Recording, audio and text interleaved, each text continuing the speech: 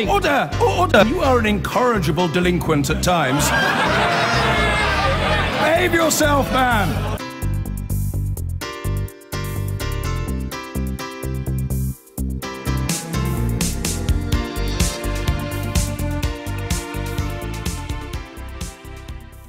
So yesterday, the European Union celebrated its 60th birthday. Had a party in Rome where the city uh, had the founding document signed, and these days it was the EEC.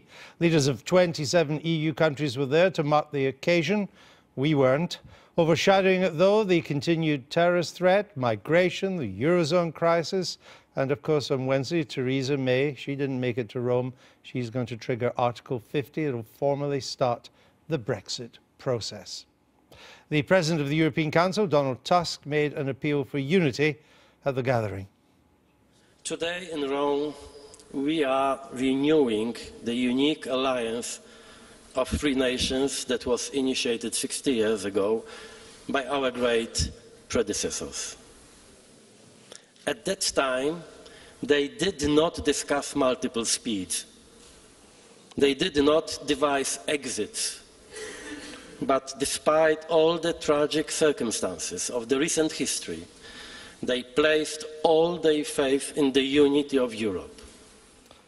That's Mr. Tusk. He's Polish. He's the man that chairs the Council of Ministers, and on that council, every head of every member of the EU sits. He's an important figure in what is now about to happen. Toby, we've got to negotiate our divorce terms. We've got to agree a new free trade deal, new crime fighting arrangements. We've got to repatriate 50 international trade agreements. And all of that's got to be ratified within two years by 27 other countries. Can that really happen? Well, I don't think it's inconceivable because I think it's in the interests of those 27 EU member states to try and negotiate a deal that we can all live with because that would be preferable to Britain crashing out within two years.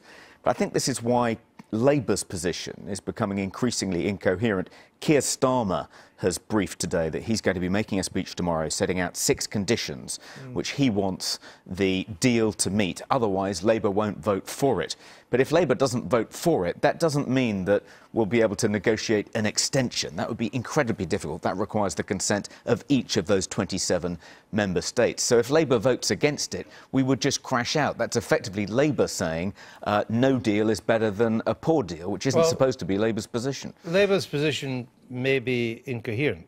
Though, of course, I wasn't asking about Labour's position. I was asking about the government's position. Many people will think that the government's position, given that Mr. Barnier, who's heading up the negotiations, has said he actually wants the deal ready by October of next year so that it can then go through the ratification process, people looking at this will think it's mission impossible. It looks mission impossible to me. It couldn't possibly be done in the time. The complexity, the fact that it's 27 countries and the Walloons, uh, and it's the whole of the European Parliament as well. There will be too many people throwing spanners in the works, and quite rightly. We have embarked on something that is truly terrible and disastrous. And the imagery we have of those 27 countries celebrating together 60 years of the most extraordinary, successful movement for peace, for shared European values, and us not there. I think well, we weren't there at the start either. We weren't there in the start, but Maybe we, only fair we're not there now. now.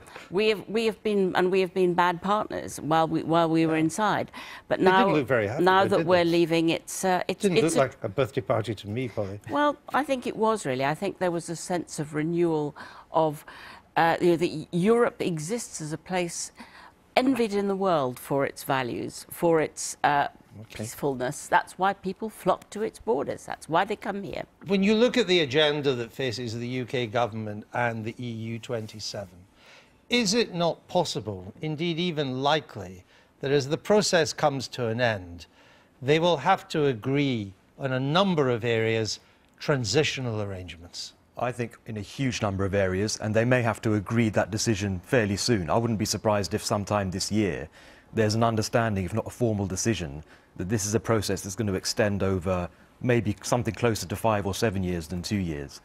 And remember, on Wednesday, Article 50 will be filed and there'll be a lot of excitement and hubbub, but nothing concrete can happen for a while. You've got elections in France in May, You've got elections in Germany, which now really could result in a change of government. Yes, that's the big change. Huge change. And- Mrs. Merkel may not be there by October. And who foresaw that even three months ago? Correct. So that's not until the end of this year. So you might be into 2018, really, before you're into the substantive discussions about how much market access for how much regulatory observance. I can't see the whole thing being concluded in two years. I could see, if negotiations are not too acrimonious, that transitional agreement taking Well, let, let's just look at that timetable again, Toby. Let's come, come back to that. So, the Council doesn't meet until the end of April. It meets actually in the middle of the French elections. The first round will have taken place, but they'll need a second round. So, not much can happen there. President Hollande will be representing France. France. He's a busted flush by the end of April. Uh, then the new French government, which, uh, I mean, if it's Le Pen, all bets are off. But even if it's Mr. Macron, he doesn't have a party, he won't have a majority in the Assembly. The French will take a long while to sort out themselves. Then here's what happens it's summer. We're off to the Côte d'Azur, particularly the Parisian elite. And then we come back from that, and the Germans are in an election. It may be very messy with the German election now. Mrs. Merkel no longer a, sh- a shoe in. It could be Mr. Schulz. He may have to try and form a difficult green red coalition. That will take a while. Before you know it, it's Guy Fawkes night. And no substance has yet taken place. And yet we're then less than a year before all this has to be decided. Phew. Well, it, it, it's, it's a big task, and I'm sure, I'm sure Janan's right that there will be some transitional arrangements and not everything will be concluded within that two-year timetable.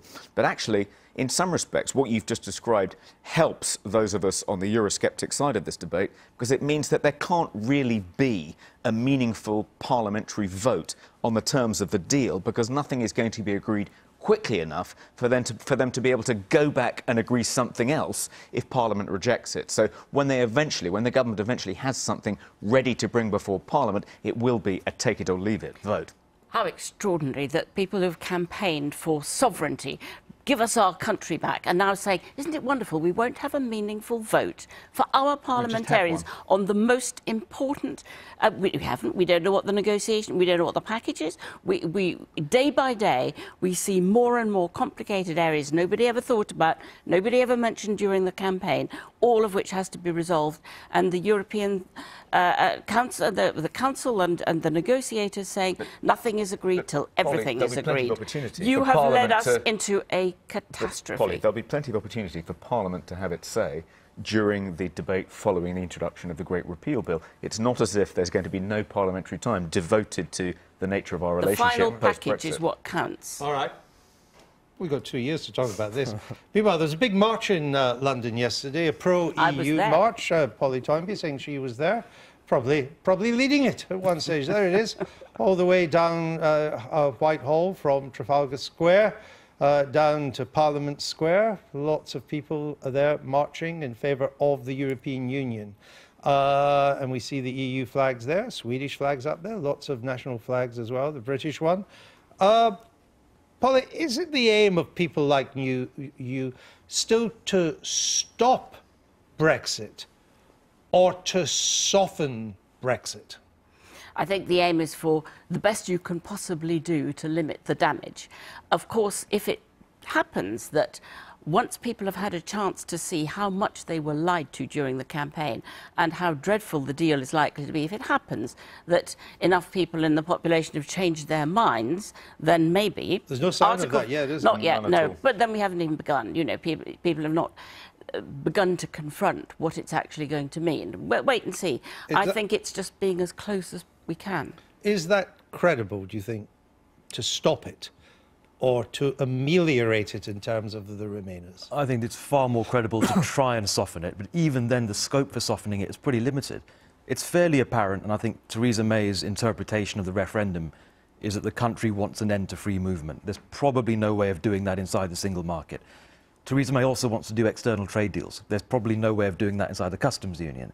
So really, the only line you can defend if you're a pro-European is, well, at least let's not leave without any trade pact. At least let's be Canada and have a formalized trade agreement.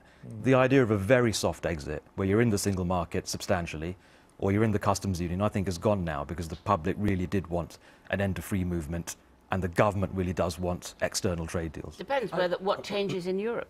Toby. I, I think that's right. Um, I do think that the momentum behind the uh, Remoaning movement uh, will fall away.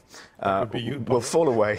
uh, I mean, one of the one of the banners being held up by a young boy yesterday I saw on the news was "Don't put my daddy on a boat," and I think it gets a lot of its moral force from the uncertainty still surrounding the fate of EU nationals resident here and our residents in the remainder of the EU. And I do think that David Livington, Lidington's right. That is some of the low-hanging fruit that will be concluded quite quickly, I think, once negotiations start, and then that'll take a lot of the heat and the momentum out of the Remain movement. Why didn't they vote? Why didn't Theresa May allow that amendment that said we will do that as an act of generosity? Ourselves, we will say, of course, those uh, European citizens here are welcome to stay. It would have been such a good opening move in these negotiations, instead of which she blocked it. I it suppose her line, and I've interviewed many Tories about this and put that point to them too, but I think that their point quite often is that, that the Prime Minister's job is also to look after UK citizens in the EU. And she didn't want to chip. do an asymmetric deal. I think that uh, you have to be generous and you have to assume that people in Spain and everywhere else where there are British citizens It- would have responded. The British government did try and raise that with um, their EU counterparts, and they were told we can't begin to talk about that until Article 50 has been triggered. Next week we will be able to talk about it. How generous it would have been, how we would have started Right. on a much better If note. only they'd Well, agreed to negotiate shall about uh, leave it there. It didn't happen. We'll see what happens next with EU citizens. Uh, that's it for today.